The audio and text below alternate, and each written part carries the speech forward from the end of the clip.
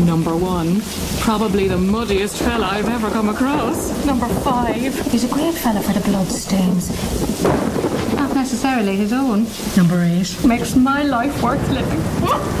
Will you look at this? Number 13. Not a mark on him. And here's me getting these new fantastic Ariel tablets so we can sling them out for Ireland. They get me the sack you win. Ariel tablets burst with cleaning energy to keep Ireland's green clean.